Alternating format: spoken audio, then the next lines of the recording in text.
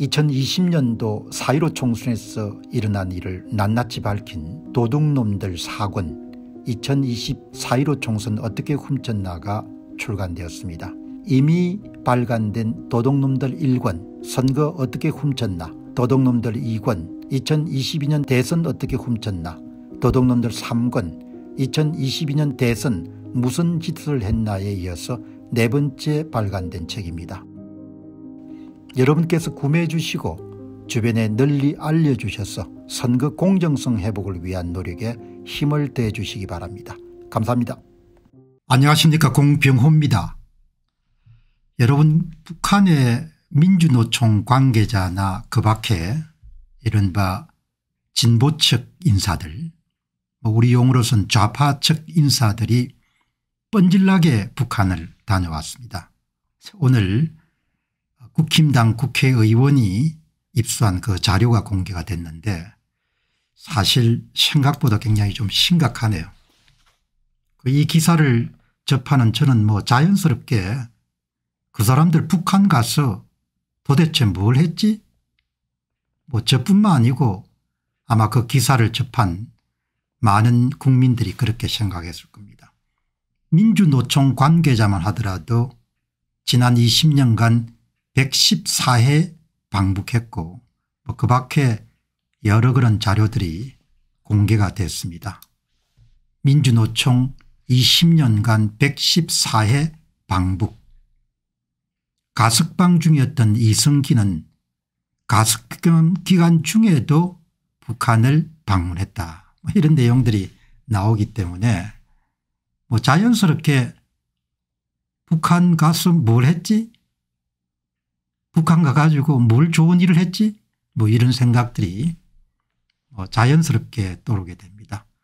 관련 기사를 이렇게 한번 보니까 민주노총 2000년 이후에 약 20년간 북한을 114회 다녀왔고 또 통진당 해산된 그런 그 국가 반란죄로 인해서 해산된 통합진보당의 전신인 민주노동당 민노당은 총 96회 그리고 내란 업무 혐의로 헌법재판소 결정에 따라서 2014년에 해산된 통진당 통합진보당 계열 인사들의 경우는 무려 101회나 방북했다. 그들은 대부분이 평양 인근에 머무른 것으로 그렇게 알려졌습니다. 자연스럽게 모를 거 아닙니까 건강상이 아니고 평양에 머물렀다. 그러면 소위 대남 적화 전략의 일환으로 미인계를 쓰는 것은 너무나 잘 알려진 일인데 이 동네 사람들이 가만두었겠냐 그동안 시중에 오고 갔던 그런 여러 가지 풍물들을 자연스럽게 떠올리게 되는 것이죠. 풍문들이 있었지 않습니까 예, 코를 깨 가지고 친북 행위를 노골적으로 하도록. 그 여러분들 그런 거 생각나시죠? 예. 뭐 제가 특정 인사의 이름은 들지 않겠습니다. 이름이 아주 알려지고 지금도 언론에 뭐 왕성한 그런 이야기를 많이 하는 모 인사 같은 경우 보시고 뭐 이야기가 나오면 북한 측에서 그냥 격렬하게 꾸짖지 않습니까? 당신이 뭐 하려고 그런 이야기를 하나? 뭐 이런 식으로. 예. 그 꼬리를 내리고.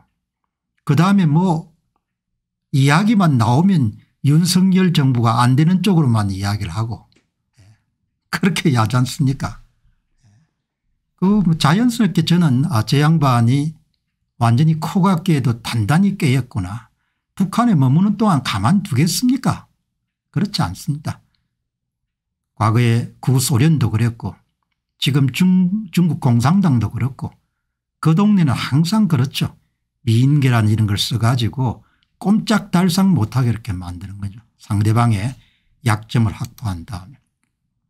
민노당 이외 경기 동부 등 통진단 계열 인사의 경우 방문에서는 총 101회인데 특히 우리가 주목해야 될 것은 이석기 전 통진당 의원의 경우는 2005년 3월과 2007년 3월 두 차례 방북한 것으로 나타났는데 2005년 3월 방북의 경우에는 가석방 상태에서 이루어진 겁니다. 그때는 더 몸조심을 해야 되는 그런 기간이지 않습니까 이스키 의원은 2003년 3월 반국가단체 구성 등의 혐의로 실행선고를 받은 이후에 그해 8월에 강복적 특사로 과석방됐고 2005년 8월 특별 사면 복권이 이루어졌다. 국가보안법 위반 혐의로 유죄 판결을 받고 가석방 상태에서 방북 승인이 이루어진 겁니다. 2005년이면 어느 정권인지 모르겠는데 나사가 완전히 빠진 그런 경우죠. 이 공산당들은 기본적으로 수단과 방법을 가리지 않지 않습니까 그 사람들의 의식에는 그야말로 수단과 방법을 가리지 않고 정권을 탈취해야 되고 그 권력을 연장하기 위해서는 거짓 윗선 공작 등에 대해서 성력이 없는 것이죠. 2014년도에 영국의 텔레그램이 북한의 미인계에 대한 부분들을 이거를 영어 표현으로는 하니 트랩이라고 그렇게 부르네요. 아주 영어가 멋있네요. 예. 예. 꿀들이 그냥 그 트랩 예. 덧 예. 그냥 꼼짝 달싹하지 못하게 여성들을 붙여가지고 그거를 뭐 녹화나 녹음을 해가지고 평생 동안 코를 꿰가지고 끌고 다니는 거죠. 그런 인사들이 한반도에 남쪽에 아주 많을 겁니다. 그게 수십 명이 될지 수백 명이 될지 분단이 되거나 7, 80년이 흘렀기 때문에 아마 북한 측에 매수되거나 코가 끼인 인사들이 정치계 언론계 기업계 그리고 여러분들 문화계 수없이 많을 겁니다. 노동계. 예. 그중에서 이제 기업하는 사람들이 조금 더 적겠죠. 그 사람들은 그런 걸 좀 잘 아니까 2014년 12월 27일 날 북한이 방북 인사들에 대해서 어떤 식으로 미인계를 접촉하게 해가지고 코를 깨는가 그런 내용들을 구체적으로 보도한 바가 있습니다. 그것을 이제 받아가지고 국내 한 언론 매체에서 잘 소개했네요. 2014년 12월 영국 일관지 텔레그래프는 북한의 탈북자를 인용해서 방북 고위층을 상대로 한 북한의 씨앗 시기 점수를 자세하게 소개해 주목을 끈 바가 있다. 아마 국내에서 탈북한 상태에서 그런 어, 그 사회 시민 활동 운동을 하고 계시는 한 분이 그 관련된 책도 아마 집필했는 모양입니다. 여기 탈북 언론인 장진성 뉴포커스 대표의 책 친애하는 지도자를 인용해서 북한 정권은 평양을 찾은 해외 엘리트들을 협박하기 위해서 미인계를 활용해 가지고 예, 뭐 여성이 임신을 하도록 한 다음에 아이를 볼모로 협박을 한다. 뭐 그런 이야기는 새삼스러운 이야기는 아니죠. 예, 뭐 국내에 공공연하게 그냥 사실처럼 지금 퍼져 있는 그런 이야기입니다. 북한을 방문한 뒤에 급격하게 친북 성향을 보이는 외국 정치인 기업인 언론인 종종이 있다면 원래 저 사람이 그러지 않았는데 방북한 다음에 사람이 바뀌었다 이런 느낌이 오는 사람 같으면 미인계에 빠졌을 가능성이 굉장히 높죠. 우리나라에서는 모모한 언론인들이나 또 언론과 관련된 사주들이 여러분들 이름에 오르내리지 않습니까? 그들은 미인계에 걸려들었기 때문이라는 그런 정언이 나왔는데 씨앗 심기 공작 The Seed Bearing Scheme 예, 영어 표현도 아주 멋있네요. 예. 그렇지 않습니까? 특정인 이름 거론하지 않지만 북한 문제가 나오면 은 꼬리 납작아 이름들 꼬리 내리는 사람 있지 않습니까? 건강상 그런 유람이 한참일 때 선내에서 무슨 일을 했는지 그 여러분들 일부 기자들한테 다 딱 발각된 적이 있지 않습니까 보도가 안 됐을 뿐이지. 그렇게 그 내용이 여러분들 외신을 들어가 보면 은 예, North Korea의 비밀스러운 honey trap 미인계 스파이 프로그램의 내부를 파헤친다. 뭐 이런 내용들이 많이 나오고 예, 2012년도에는 방북 인사들에만 한 것이 아니고 북한의 대납은 공작 여러분들 그런 부처에서 한 여성 40대 여성을 남한으로 파견해 가지고 마치, 마치 이제 탈북한 사람처럼 그렇게 해서 국내에 여로에 있는 사람들에게 미인계로 접촉하려고 했던 그런 내용들이 한번 보도가 된 적이 있죠. 2012년 6월 1일자 미주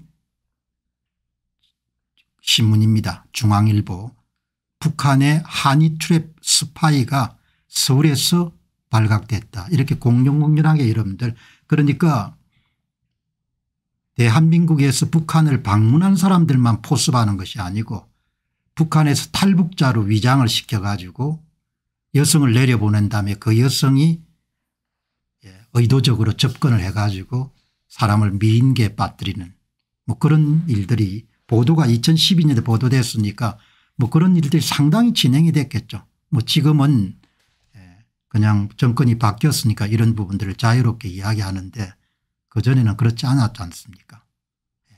그러니까 당연하게 그 사람들 가가지고 뭘 그렇게 좋은 일을 했나 이런 생각이 떠오르는 거죠. 예. 여기 보시게 되면 중국 공산당도 마찬가지지 않습니까? 충남지사를 지냈던 안희정 사건이 여러분들 미투 사건의 일환으로 폭로가 됐을 때 그때 수면 위에 잠시 오르다 그냥 덮어버렸지 않습니까? 여기 나오네 우리가 놓쳤던 안희정 미인계 의혹 다시 수면 위로 떠오르다. 2022년 12월 26일. 공상주의자들은 이런 부분을 자연스럽게 그렇게 활용하니까. 뻔질나게 여러분들 북한을 떠나든다는 이야기는 그거는 뭐 거의 코가 깨어도 한참 끼인 거죠. 한국에 얼마나 많겠습니까? 정치인들 노동계 인사들 종교인들 언론계 인사들. 과거에 이런 박지원 씨가 뭐 한물이 이름 데리고 언론사에 높은 사람 데리고 북한 갔다 왔지 않습니까? 가만두었겠습니까 나는 그렇게 안 두거든요. 그 사람들은 그런 부분이 아주 이골이 날 정도로 탁월한 능력을 갖고 있을 겁니다. 정신 좀 차립시다. 나라를 지키는 것이 이렇게 허술해 가지고 되겠습니까 뭘 그렇게 좋은 데라고 이렇게 왔다 갔다 하냐 이야기죠. 그 여러분들 같은 동포들이 그렇게 고생을 하는데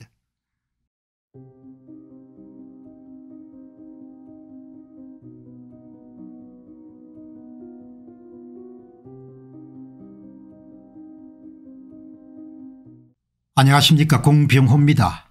여러분 나라가 지금 돌아가는 것을 가만히 보게 되면 은 절반 정도는 나라가 넘어간 게 아닌가 그런 생각이 들 때가 많습니다.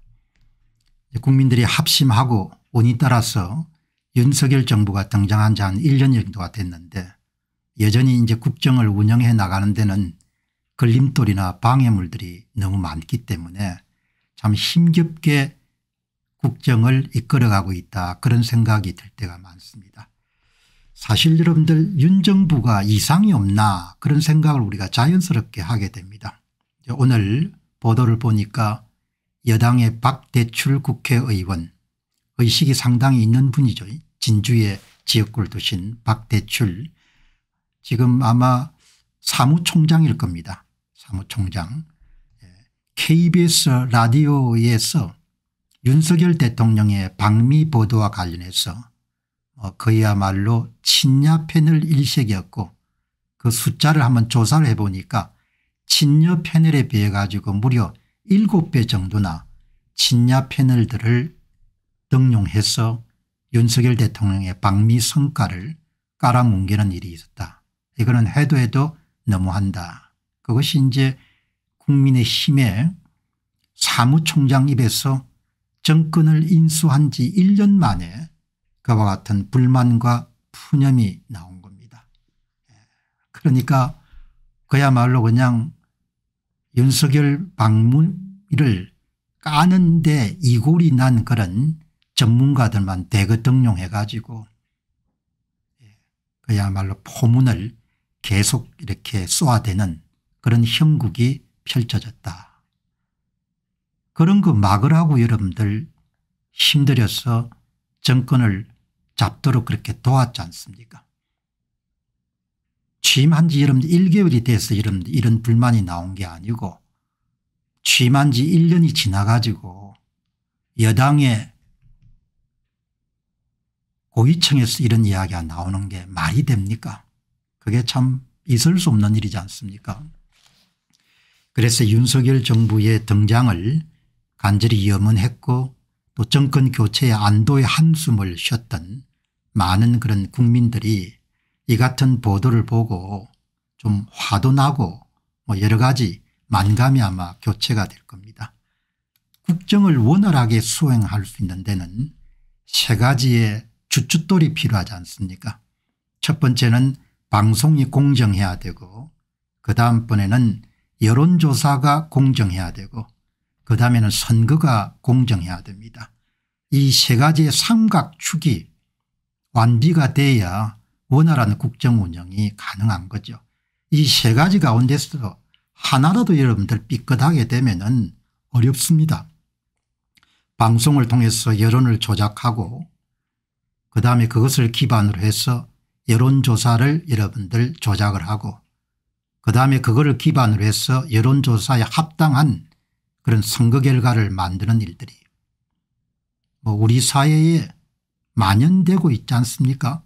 그동안 그렇게 해왔고 지금도 그렇게 하고 있고 물론 이 부분에 대해서 사람마다 의견이 좀 다를 수가 있지만 저는 선거 문제를 깊숙이 들여다봐 왔고 지금도 그 문제를 들여다보고 있는 사람으로서는 이 삼박자 방송의 왜곡 여론조사의 왜곡 그리고 선거의 왜곡 이것은 정말 대한민국을 망국, 망국으로 그렇게 이끄는 지름길이 되고 있다 그런 생각을 갖고 있습니다. 오늘 박대출 사무총장의 여러분들 주장을 한번 들어보도록 하겠습니다. 여당 KBS 1라디오 윤석열 방미 보도 친여 패널이 친여 패널의 7배가 됐다. 5월 1일 날 국민의힘 최고위 회의 석상에서 박대출 사무총장이 성토하다. KBS 1라디오는 오마이뉴스나 미디어 오늘이 없으면 방송을 못할 그런 상황이다. 예. 그러니까 여당 측 인사보다는 야당 측 인사가 7배가 더 많다는 거죠. KBS 1라디오는 KBS의 다른 기관과 마찬가지로 국민의 세금으로 운영되는 공영방송입니다. 그렇기 때문에 다른 사설 이런 방송에 비해 가지고 가능한 패널의 여러분들 50% 50% 정도를 유지하는 것이 선택사항이 아니고 그것이 바로 의무이자 책무라고 그렇게 볼 수가 있는 것이죠. 박대출 의장은 이렇게 명렬히 성토합니다. 몇몇 좌파 매체가 KBS 1라디오를 그냥 완전히 점령했다 장악했다 가지고 논다고 해도 결코 과언이 아니다. 아마 그것을 국민의힘의 여의도 연구소에서 직접 조사를 한 모양입니다. 집권하고 나서 1년이 됐는데 사무총장 입에서 이런들 이와 같은 푸념과 불만이 튀어나오는 것은 그동안 도대체 당신들이 뭘 했나 이게 아마 문체부 소관일 겁니다. 지금 윤석열 정부에 대해 좀 쓴소리를 하게 되면 은 장관들이 전혀 움직이지 않는 것 같습니다. 몸을 던져서 일을 하고 있는 장관들이 거의 안 보이는 거죠. 다음에 권력이 여러분들 끝나게 됐을 때 혹시 자기에게 해가 끼칠기라도 할 듯이 그걸 염려하기라도 하듯이 다들 몸을 사리는데 여러분들 바쁘다는 그런 생각을 하게 되는 것이죠. 예. 뭐 박대출 의장은 박대출 의장이 사무총장인지 여기 보시니까 의장이니까 예, 정책위 의장인 같네요. 사무총장이 아니고. 최영일의 시사본부 주진우 라이브에서 5일간 42명이 나와서 좌파 또는 야당 친화적 견해를 제시하는 동안 우파 혹은 여당 정부 친화적 견해 출연자는 단 한 명도 없었다. 이게 말이 되는가 그래서 이런 권력을 잡도록 그렇게 다 열심히 뛰었지 않습니까 그런 거 고치라고 여론조사도 공정하게 하고 선거도 공정하게 하고 방송도 공정하게 하고 그렇게 하기 위해서 여러분들 우리가 노력한 거고 윤석열 정부를 출범한 거 아닙니까 여당의 정책위 의장이 것을 품으면 국민들이 도대체 뭘 어떻게 하겠냐 이야기죠. 정말 반성해야 될 사안입니다. 뭐 여기 보시게 되면 박대출 의장은 아침 출근길엔 뉴스타파 그다음에 미디어 오늘 미디어스 오마이뉴스 저는 뭐 그런 걸안 보니까 점심 무렵은 오마이뉴스 국민TV 출신들이 출연하고 퇴근길은 낙곰수 출신 진행자의 미디어 오늘 시사인 기자가 나오고 심야에는 미디어 온 기자가 기가 찬 거죠. 예. 이렇게 해서 여론을 조작하면 여러분 그 다음 뭐합니까? 여론 마사지 하지 않습니까? 그 다음 뭐합니까? 선거 결과 만들지 않습니까 그게 지금 한국의 일상이 돼 있는 겁니다. 그걸 막으라고 윤석열 대통령을 대통령 시킨 거 아닙니까 지금 잘하고 있습니까 제가 묻고 싶은 겁니다.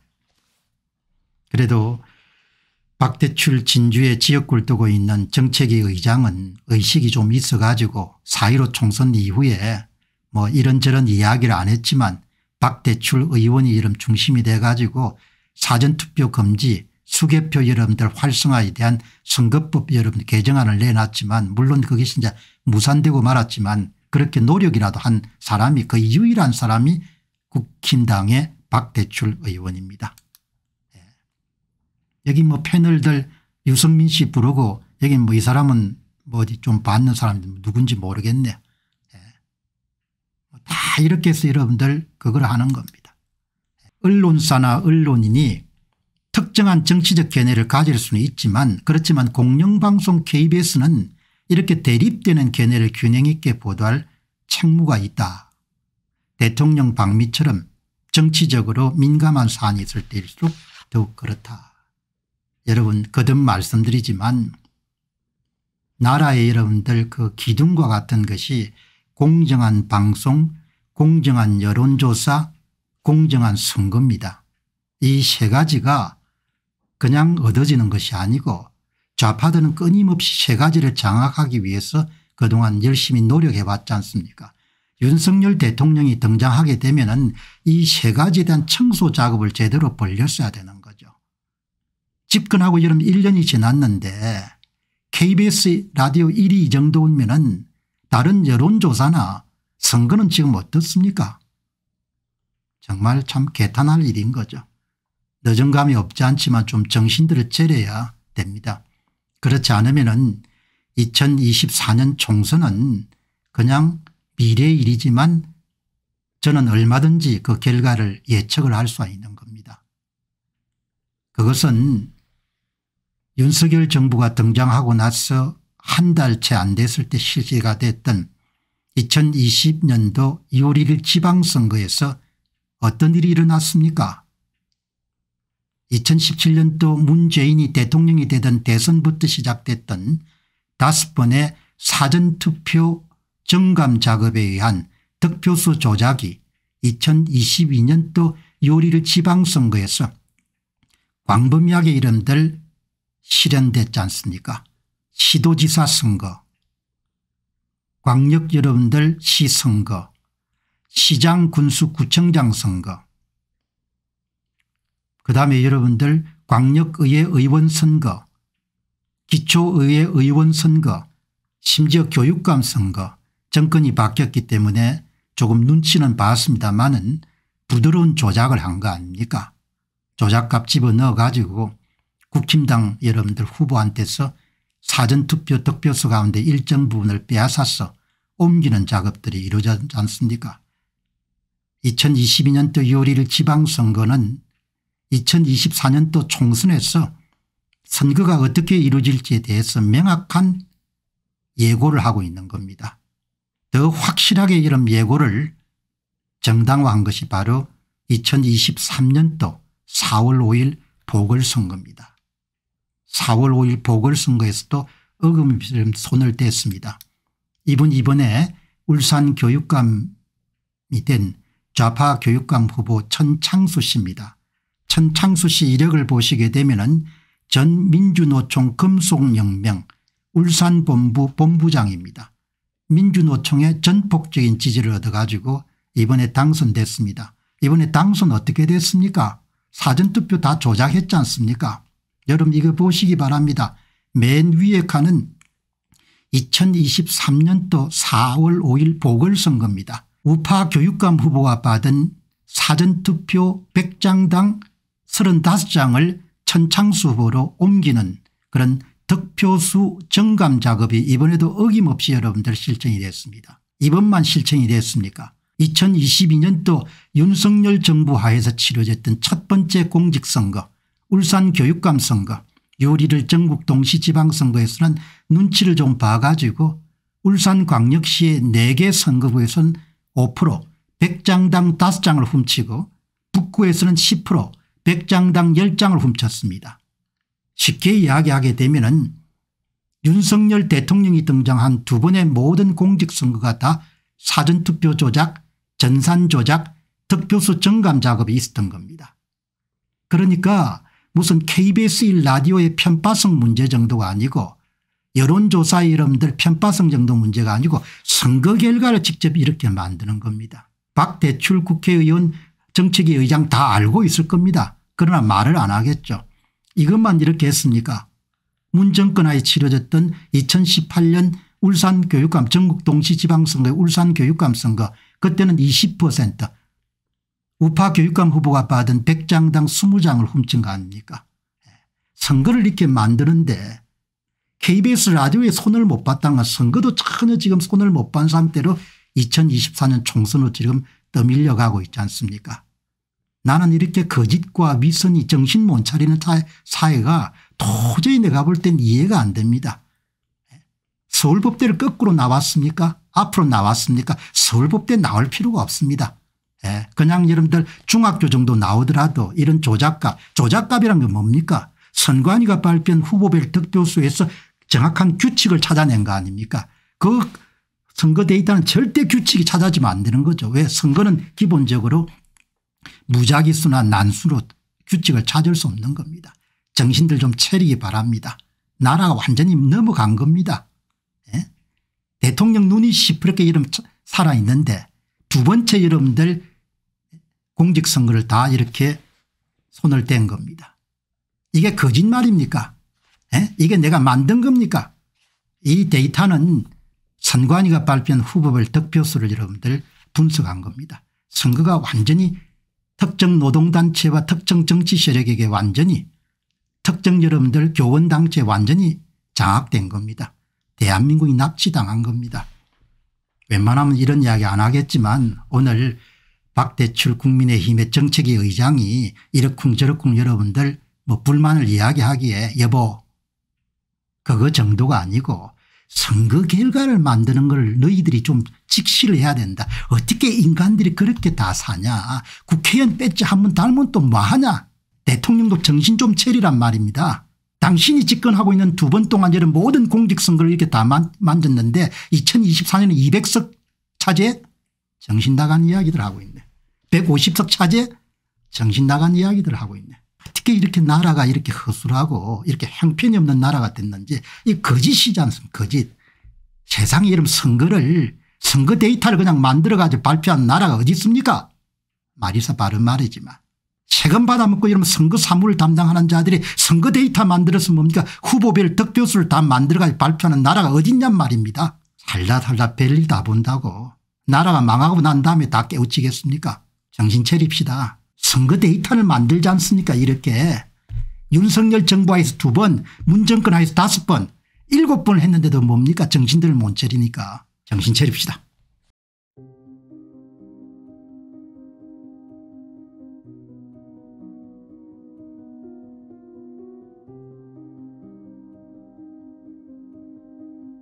안녕하십니까. 공병호입니다. 여러분 울산 교육감 선거와 울산 남구 나 선거구 2023년도 4월 5일 보궐선거에서 특정 지역의 득표수가 정확하게 일치하는 그런 신기한 사건이 터졌습니다. 그래서 오늘은 어, 여러분과 함께 6,400표 울산 미스터리 울산 남구나 기초의원 보궐선거와 울산 교육감 선거의 득표수가 놀랍게도 정확하게 일치하는 기이하고 획기망측한 사건이 터졌다. 이런 부분을 울산의 지역신문 여러분들 이렇게 발표를 했습니다. 남구 나 선거구 6,400표의 미스터리. 예. 울산 제1일보가 2023년도 4월 9일 날 여러분 보도를 한 내용입니다. 핵심은 뭔가 하니까 울산 남구에 많은 사람을 놀랍게 한 사건이 터졌지 않습니까 국민의힘의 텃밭과 같은 곳인데 그곳에서 더불어민주당 기초의원이 탄생하게 된 겁니다. 울산 교육감 선거도 여러분들 예, 민주노총이 확실하게 미는 후보가 당선이 된 겁니다. 그런데 여기에서 예, 신정사동 그리고 옥동에서 울산 교육감 좌파 후보가 여러분들 획득한 그런 6,450표하고 그다음에 울산 남구 나 기초위원회에서 더불어민주당 여러분들 후보가 차지한 것이 정확하게 일치하는 그거는 확률적으로 거의 불가능한 일이거든요. 예. 세상에 수많은 여러분들 표가 있는데 그게 득표수가 옥동하고 신정사동에서 정확하게 합산을 해보니까 교육감 득표수 6,450표 천창수 그리고 여러분들 울산 남구 나 선거구에 더불어민주당 여러분들 후보에 그것이 일치하는 겁니다. 그래서 울산 제1인부는 진짜 기이한 일이다. 그렇게 하고 밑에다 뭐라고 뭐라 했는데 밑에 건 다 필요 없고 확률적으로 일어날 수가 없는 사건입니다. 이거는 선거 데이터를 만졌을 때 선거 데이터를 주물렀을 때 선거 데이터를 조작했을 때 발생할 수 있는 그런 현상일 가능성이 높습니다. 예, 그래서 이런 보시게 되면은 예, 여기에 이제 남구 나 성구구에 민주당의 최덕종 당선인이 당선된 겁니다. 여당 텃밭에서 여러분들 야당이 당선된 거니까 놀라운 일이죠. 예. 아주 아슬아슬하게 당선돼 있습니다. 울산 남구나 기초위원회에서 국민의힘의 신상현 후보를 153표 차이로 아주 아슬아슬하게 이겼습니다. 예. 거의 접전이었던 거죠. 예. 울산 남구 의원에 더불어민주당에 당선된 겁니다. 여러분 뭐 하나도 과장하지 않고 참 저는 우리 사회를 걱정합니다.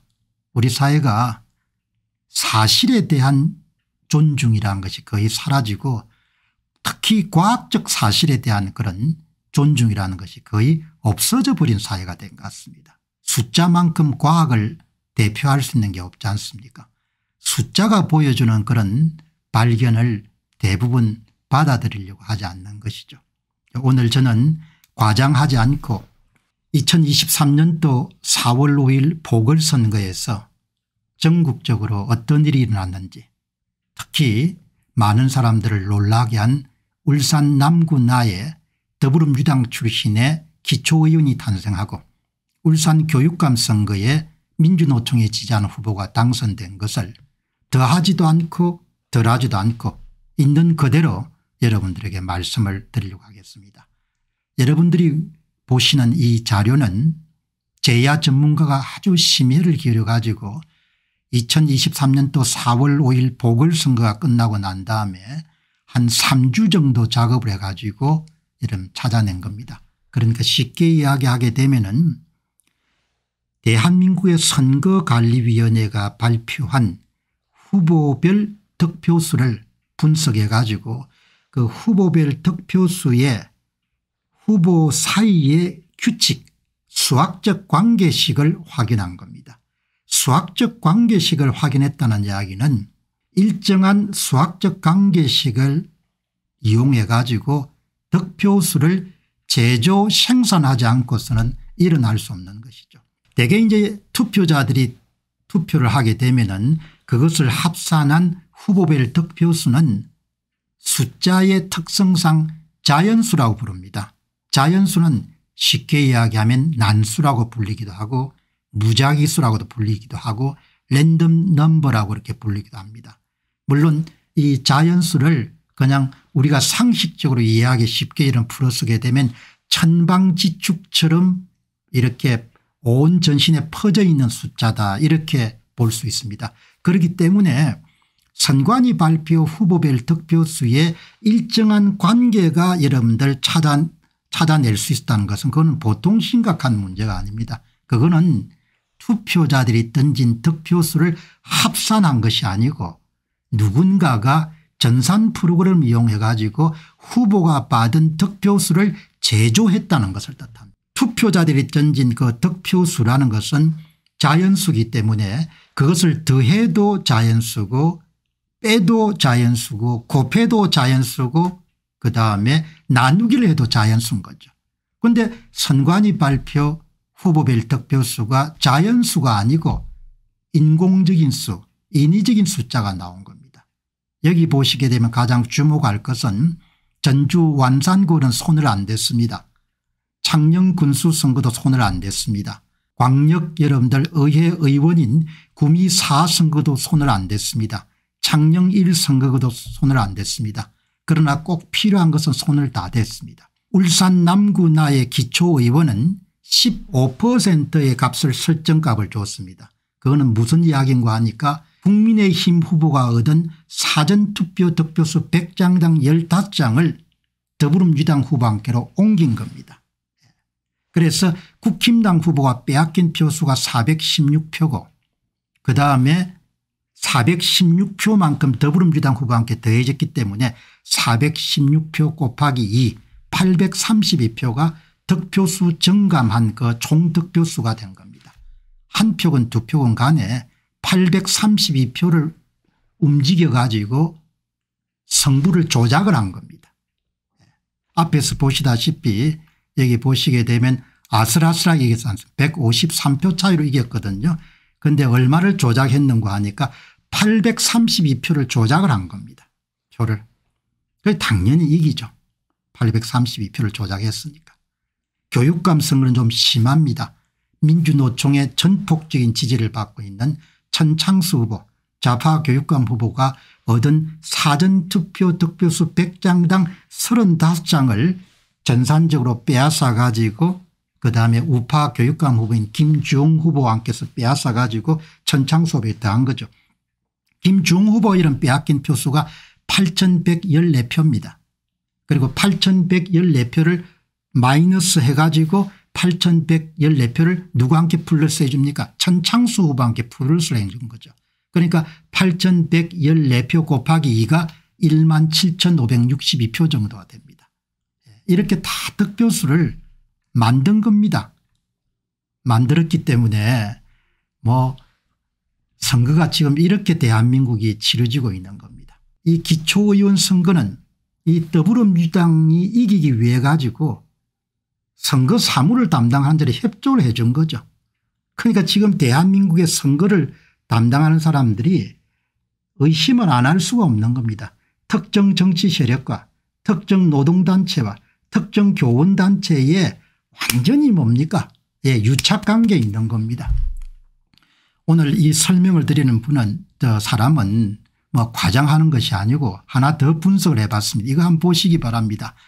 신정 사동하고 옥동에 합친 6450표가 신정 사동과 옥동에서 여러분들 울산 남구 나에서도 더불어민주당 후보가 6450표를 얻고 울산 교육감 선거에서도 신정사동과 옥동에서 6450표를 얻었다는 것이 울산 제1일보의 이야기입니다.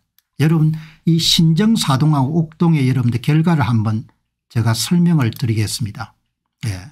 이 천창수 후보의 좌파 교육감 후보 당선자입니다. 김주홍 후보 우파 교육감 후보입니다. 예.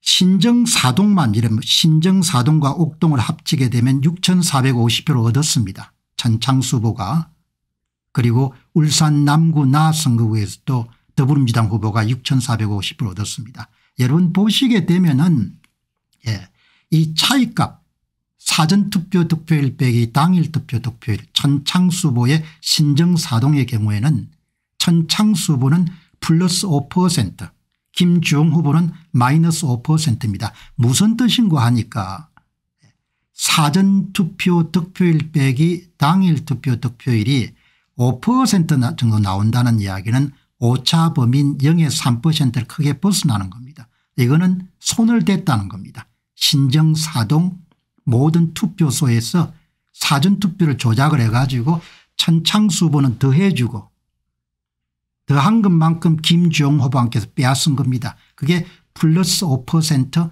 마이너스 5%가 나오는 겁니다. 그럼 얼마를 훔쳤냐 그대로 이러면 다 나옵니다. 계산이 되면 은 예. 김주영 후보는 신정 사동에서만 321.30표를 빼앗깁니다.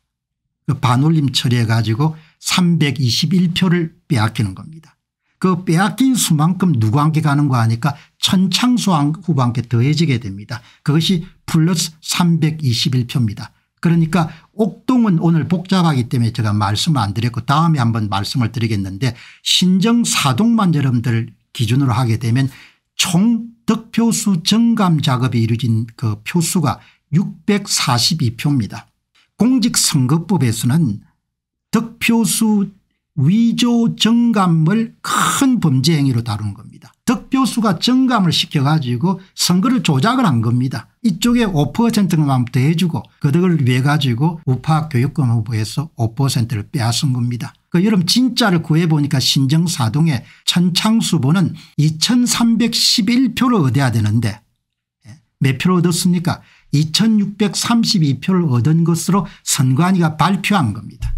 예, 그러면 진짜 득표수는 어떻게 찾아냈냐 선관위가 발표한 득표수를 분석해 보게 되면 35%라는 숫자를 찾아내게 됩니다. 그 35%란 것이 설정값 혹은 조작값입니다. 다르게 이야기하면 우파 교육감 후보인 김주용이 사전투표에서는 100장당 35장을 천창수 후보에게 옮기도록 그렇게 프로그램을 만들어 돌린 겁니다. 그러니까 35%만큼 청창수가 여러분들 그냥 공짜로 먹은 것 들 빼앗고 김주용이 빼앗긴 것을 더해 주게 내면 진짜 득표수가 나오는 겁니다.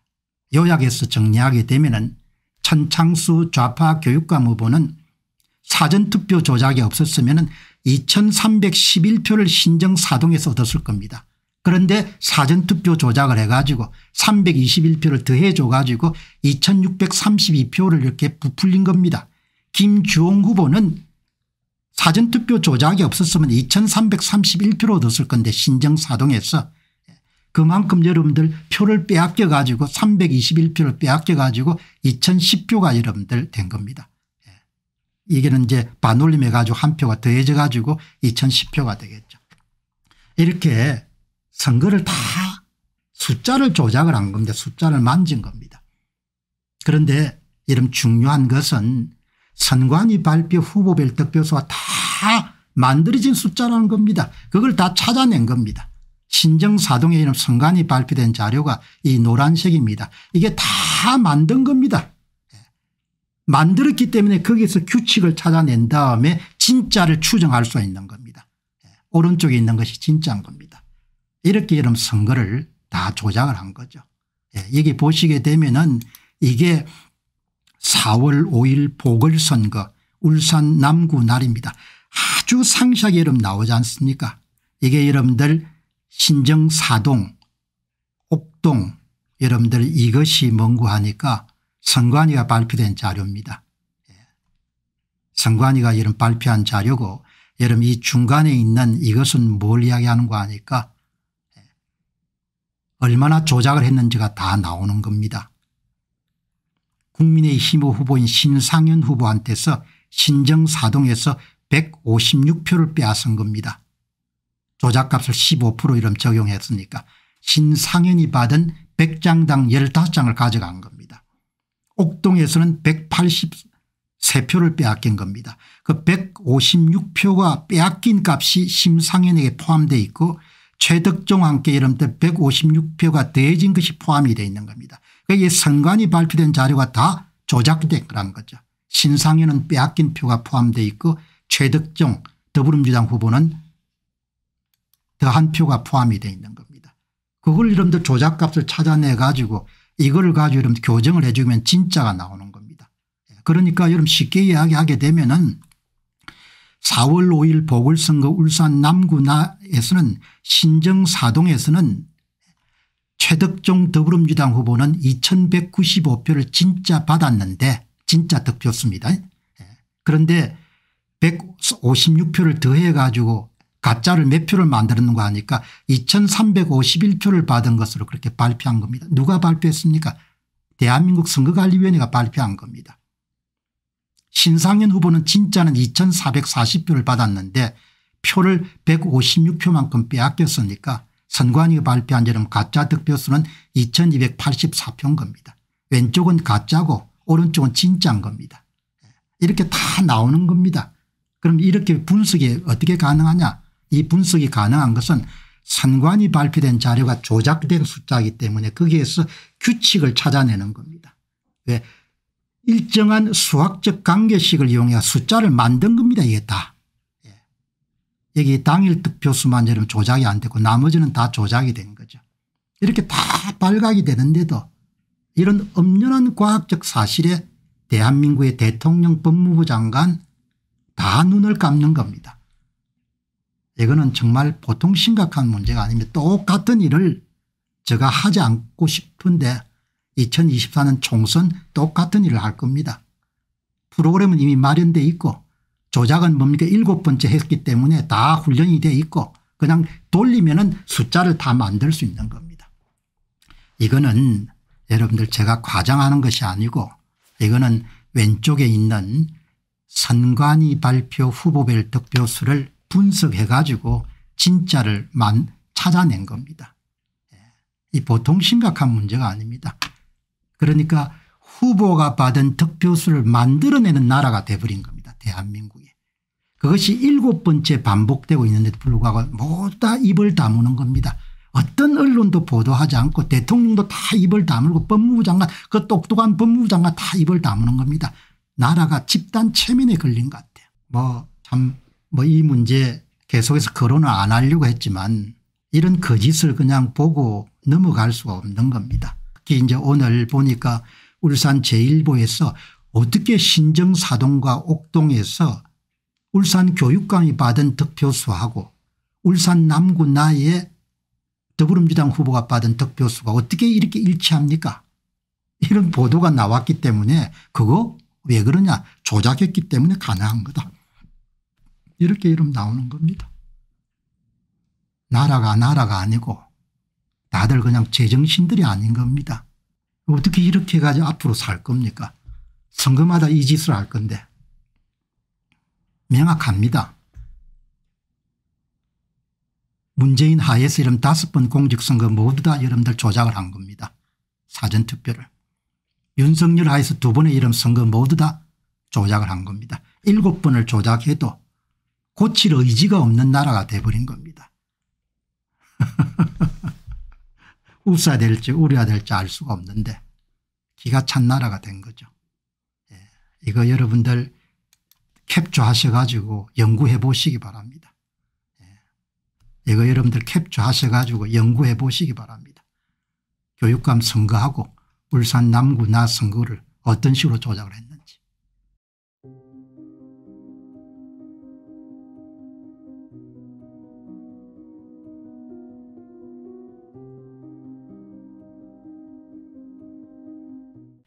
안녕하십니까 공병호입니다. 여러분 사회가 어쩌면 이렇게 거짓이 이렇게 횡행하는지 참 이해하기가 힘드네요. 사실을 전혀 받아들이지 않고 그냥 모든 것을 거짓으로 이렇게 만드는 걸 보면 은 참 딱하기도 하지만 이게 현재 문제뿐만 아니고 앞으로 대한민국 사회가 정말 큰 비용을 치를 수밖에 없겠구나 그런 걱정을 하게 됩니다. 오늘은 이 울산 보궐선거 패배 특히 이제 울산 교육감 선거 그리고 울산 남구 나의 그런 기초의원의 김당 후보를 누르고 더불어민주당 후보가 당선됐지 않습니까 여기서 이제 우리가 관심을 가져야 될 것은 기초의원들도 조작을 하는 겁니다. 구의회 의원들 시의회 의원들 이런 부분을 조작을 하고 그냥 뭐 원하는 대로 선거 결과를 만들어 가지고 당선자를 낙선자로 만들고 낙선자를 당선자로 만들 수 있는 그런 사회가 지금 대한민국이 되어버린 겁니다. 그거는 뭐 그냥 추정이 아니고 그냥 사실입니다. 그런데 더 이제 기막힌 것은 그럼에도 불구하고 2024년 총선에서는 문제가 없을 것이다 이렇게 주장하는 사람들 보면은 저분이 교육을 받기는 받았나 그런 생각을 하게 됩니다. 교육을 받는다는 이야기는 어떤 사실에 근거해서 어떤 것을 이야기하거나 주장하지 않습니까 문재인 정권 하에서 다섯 번의 공직선거가 모두 조작이 됐고 윤석열 정부 하에서 2022년도 6월 1일 지방선거 2023년도 4월 5일 보궐선거가 모두 다 조작이 됐거든요. 그럼 일곱 번 조작이 된 거지 않습니까 일곱 번 선거에서 모두 다 전산을 조작하는 사람들이 사전투표 조작을 위해 가지고 설정값 이른바 보전값 이른바 조작값을 입력한 다음에 후보가 얻은 사전투표 득표수와 총득표 득표수를 제조한 거 아닙니까 예. 그것이 사실로 다 드러났음에도 불구하고 모두가 침묵하는 걸 보면 은 참 사회가 병이 깊어도 너무 많이 깊다 이런 생각을 하게 됩니다. 아마 여러분들이 보도를 보셔서 아시겠습니다마는 이 4월 5일 보궐선거가 끝나고 난 다음에 마치 기다리기라도 했듯이 이준석은 울산 패배가 심각한 상황이다. 강남도 안심하지 못한다. 뭐 이런 이야기를 하고 다음 2024년 총선에서 여당이 패배하게 되면 또 부정선거 이야기가 나올 거다. 그렇게 예언적 주장을 하기도 합니다. 오른쪽을 보면 은이 이준석의 이야기를 다 대서특필하고 울산에서 일어난 선거 결과를 가지고 뭐 엉뚱한 이야기를 하기 때문에 제가 한 번 다룬 적이 있지만 참 이 문제가 너무나 중요하지 않습니까 2024년 총선을 뭐 기다릴 필요도 없습니다. 그 선거를 어떻게 여러분들 요리해 먹을지는 예. 그렇기 때문에 특히 윤석열 정부 하에서 2022년도 6월 1일 지방선거가 사전투표가 조작이 된 것은 아주 심각한 예고편입니다. 여기에 더해 가지고 2023년도 4월 5일 보궐선거를 내놓고 조작한 것 민주노통의 지지를 받는 울산교육감 선거에서 조작값 35% 우파 교육감 후보가 받은 사전투표 득표수 가운데 100장당 35장을 여러분들 그냥 빼앗아 가지고 그냥 먹어치운 것은 보통 사건이 아닙니다. 35% 조작값은 이례적으로 높은 조작값입니다. 그러니까 윤석열 정부를 전혀 두려워하지 않는다는 거죠. 법을 전혀 두려워하지 않고 선거 수사를 전혀 두려워하지 않는다는 겁니다.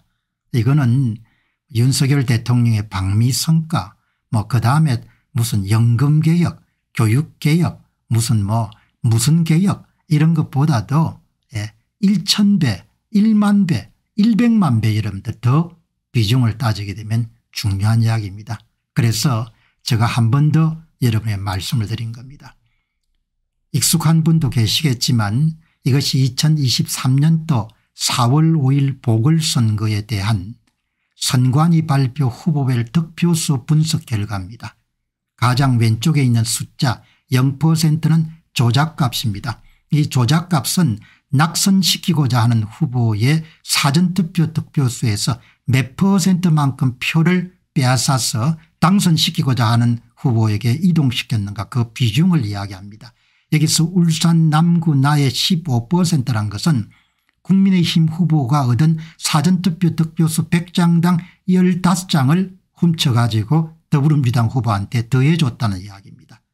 그리고 울산 광역시 시장 선, 저 교육감 선거의 35% 조작값이라는 것은 우파 교육감 후보가 얻은 사전투표 득표수 100장당 35장을 여러분들 훔쳐가지고 좌파 교육감 함께 더해줬다는 이야기입니다. 이 방송을 보시는 분들 가운데서 그걸 어떻게 찾아냈습니까 궁금해하실 분이 계시기 때문에 이 모든 분석 결과는 선거관리위원회가 당선자와 낙선자를 구분하기 위해서 발표한 후보별 득표수 자료를 분석한 겁니다. 어떤 것도 손을 대지 않았습니다. 후보별 득표수를 분석하게 되면 손을 대지 않는 사전투표를 조작하지 않으면 선관위 발표 후보별 득표수에 어떤 종류의 규칙이나 수학적 관계식이나 패턴 같은 것이 나타나서는 안 되는 겁니다. 그런데 제야 전문가가 분석을 해보니까 전주 완산구을의 국회의원 보궐선거 창녕 군수선거 구미 4선거구 창녕 1선거구의 광역도 의회 선거구에는 손을 안 댔습니다만 나머지 기초의원 네 군데하고 울산교육감 보궐선거는 아주 심하게 손을 댄 겁니다. 그러니까 선거를 조작하는 사람들이 아무리 여러분들 날고 기더라도 결국은 득표수를 조작을 해야 당선의 영광을 훔칠 수 있기 때문에 득표수를 조작한다는 숫자를 조작하는 겁니다. 그 숫자를 조작하게 되면 숫자의 흔적이 그대로 남기 때문에 그것을 제야 전문가가 분석해 가지고 조작값을 찾아낸 겁니다. 여러분 이걸 한번 보시게 되면 은 이것이 이제 울산교육감 남구의 예, 결과입니다. 이게 이제 울산교육감 선거를 이렇게 남구를 복잡하기 때문에 남구만 이렇게 딱 떼가 보면 은 천창수보는 신정사동에서 2632표 옥동에서 3814표를 얻어가지고 천창수보의 총득표수는 신정사동과 옥동의 6450표입니다. 이 6450표가 선관위가 공식적으로 발표한 천창수 득표수입니다. 이 천창수 득표수에 뭐가 포함이 되어 있는가 하니까 우파 교육감모임 김주홍으로부터 빼앗은 득표수가 6450표에 포함이 되어 있는 겁니다. 그러니까 6450표가 조작된 득표수인 겁니다. 가짜 득표수인 겁니다. 제조된 득표수인 겁니다. 얼마를 여러분들 빼앗았는가 하니까 신정사동에서 321표를 빼앗은 겁니다. 321표. 관내 사전투표만 거소투표하고 그다음에 관내 사전투표 우편투표는 제외하더라도 동별로 여러분들 신정사동에서 관내 사전투표만 321.30표를 빼앗은 겁니다. 예. 그러니까 쉽게 이야기하면 신정사동에만 국한하게 되면 천창수 울산교육감 후보는 진짜는 2311표를 받았는데 선관위 발표된 자료를 보게 되면 2632표를 받은 것으로 부풀려가 발표된 겁니다. 그럼 이 2632표는 뭐냐 321표가 예. 포함이 된 겁니다. 그러니까 가짜는 부풀려지는 겁니다. 누구에게 좌파 교육감 후보에게 반대로 여러분들 김종 우파 교육감 후보는 선관위 발표 김주홍 득표수는 쪼그라드는 겁니다. 진짜는 2331표를 받았는데 321표를 빼앗겨 가지고 2010표를 이렇게 쪼그라드는 겁니다. 이렇게 숫자를 다 만진 겁니다. 이 숫자를 만진 것을 발각이 안 될 수가 없습니다. 제야 전문가가 후보별 득표수를 선관위 자료를 다운로드를 받은 다음에 그걸 분석하게 되면은 조작값 35%를 이용해 가지고 신정 사동에서 김주홍이 얻은 사전투표 득표수 100장당 35장을 천창수부와 함께 이동한 정확한 수학적 관계시 그냥 발각이 된 겁니다. 그러니까 이 선관위 발표된 후보별 득표수라는 것이 다 만들어낸 겁니다. 뭘 가지고 예. 간단한 수학적 관계식 35%를 이동시키게끔 수학적 이런 프로그램을 짠 다음에 그걸 다 여러분들 이동해 가지고 숫자를 만든 겁니다. 예. 옥동은 예, 조금 여기 보시기에 이 5%란 이야기는 사전투표 득표율 빼기 당일 투표 득표율 5%가 나온 거죠. 전창수보는 플러스 5% 조작을 했기 때문에 이 5%가 큰 숫자가 나온 겁니다. 정상적인 경우에는 0에서 3% 정도 좀 작은 숫자가 나와야 되는 거죠. 여러분 큰일 났습니다. 예. 나라가 선거가 완전히 특정 정치 세력과 노동단체와 교원단체에게 완전히 뭡니까 장악이 된 상태인 겁니다. 대한민국이 납치가 당했다 이렇게 볼 수 있는 거죠.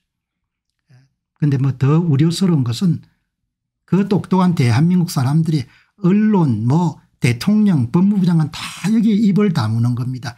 이거는 주장이 아닙니다. 이거는 억지가 아니고 이거는 가정도 아니고 이거는 예고도 아닙니다. 이거는 숫자를 가지고 밝혀낸 조작 행위에 대한 범죄 사실을 세상에 드러낸 겁니다. 예. 이거는 여러분들 보통 이런 것을 그냥 입을 다물고 간다는 것은 뭐 이거는 그 뭐 말과 글로 표현하기가 힘든 예. 여러분 이 지금 자료는 옥동은 복잡하기 때문에 그냥 옥동까지 포함하기는 복잡하기 때문에 신정 사동만 가지고 여러분들 이렇게 정리를 한 겁니다. 더 여러분들 정리한 것은 이게 울산 남구에 여러분들 표를 어떻게 훔쳤는지가 다 나오지 않습니까 이 왼쪽에 두 개는 선관위 발표 후보별 득표수입니다. 다 만든 숫자들인 거죠. 예, 이게 다 만든 숫자들입니다. 예. 그리고 이 중간에는 이 조작값을 그 신상현 국민의힘 후보가 표를 얼마나 빼앗겼는지 예. 당일 투표 선거일 투표는 손을 안 대기 때문에 관내 사전투표만 손을 대는 거죠. 신정사동에서 관내 사전투표만 156표를 빼앗긴 겁니다. 국민의힘이. 그럼 156표는 뭐 이것이 그냥 정발하는 것이 아니고 고스란하게 함께 이동하는 거 하니까 더불어민주당 함께 이동하는 거죠. 이렇게 해서 더불어민주당 후보가 당선된 겁니다. 예. 옥동 같은 경우는 신상현 국민의힘 후보가 183표를 빼앗긴 겁니다.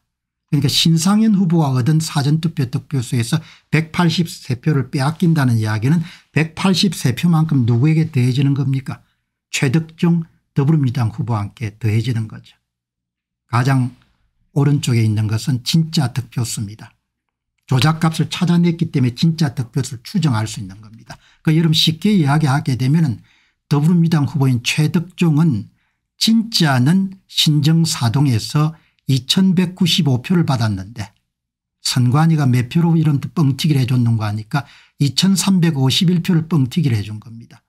국민의힘은 신상현은 진짜는 2440표를 받았는데 선관위가 2284표를 여러분들 축소 조정해 가지고 발표를 한 겁니다. 나라가 나라가 아닙니다. 나라가 망한 겁니다. 선거가 망한 겁니다. 예. 그냥 망한 것이 아니고 일곱 번째 망한 겁니다. 이런 거 여러분들 수정하고 수선해 달라고 윤석열이라는 사람을 대통령을 뽑았지 않습니까 이거 못 고치면은 이거 뭐 앞이 안 보이는 거죠. 옥동 같은 경우 보시기 바랍니다. 선관위는 3481표를 더불어민주당 후보인 최덕종이 받았다 하지만 이게 다 가짜인 겁니다. 진짜를 구해보니까 3298표를 받은 겁니다. 최덕종이 몇 표가 더해진 겁니까 183표를 더해 가지고 3298표 받은 사람을 3481표 받은 것으로 뻥튀기를 해준 거죠. 국민의힘 심상현은 선관위가 몇 표를 받았다고 발표했습니까 물결표처럼 3501표를 옥동에서 받았다 이렇게 발표한 겁니다. 진짜를 구해보니까 몇 표를 받았습니까 3684표를 받은 겁니다. 3684표를 받은 후보를 예 표를 183표 정도 빼앗아 가지고 선관위가 몇 표로 발표한 겁니까 3501표를 받았다고 발표한 겁니다. 예. 모든 자료를 손을 다 댄 겁니다. 이렇게가 선거 결과를 만든 겁니다.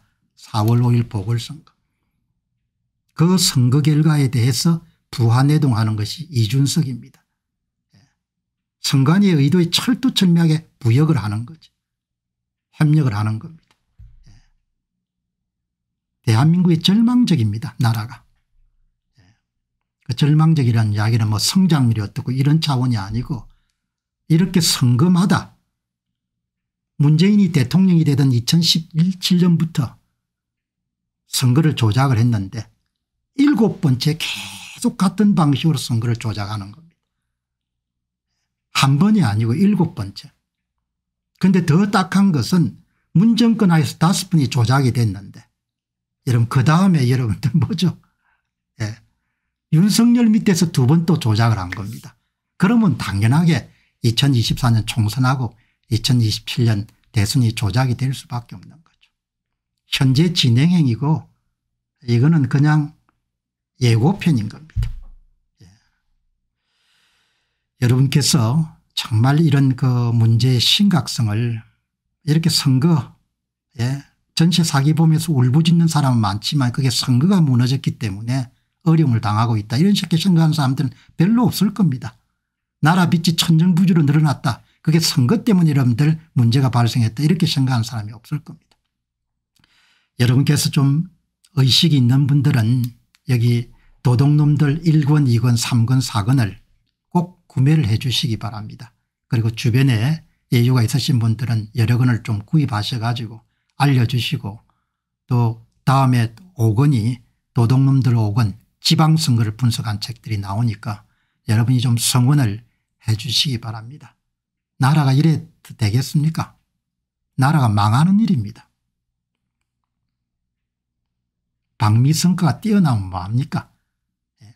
나라가 이렇게 가는데 근본 문제가 완전히 망가진 건데 대통령을 얼마나 물러봤으면 집권한 지 1년 되는 여러분들 차에 실시됐던 2024년 4월 5일 보궐선거를 이렇게 야무지게 조작을 하겠습니까 대통령을 얼마나 물러봤으면 2022년 6월 1일 지방선거를 그렇게 야무지게 조작을 하겠습니까 나라를 살리는 길입니다. 마무리하겠습니다. 감사합니다. 대한민국 공직선거의 문제점을 파헤친 첫 번째 책을 펴냈습니다. 제목은 도둑놈들 1권 선거 어떻게 훔쳤나 2017년 대통령 선거로부터 2022년 대선과 지방선거까지 전산 조작을 이용해서 후보별 득표수를 어떻게 조작했는가를 낱낱이 분석한 책입니다. 선거를 바로 세우고 나라를 바로 세우는 일에 여러분께서 힘을 더해 주시기 바랍니다.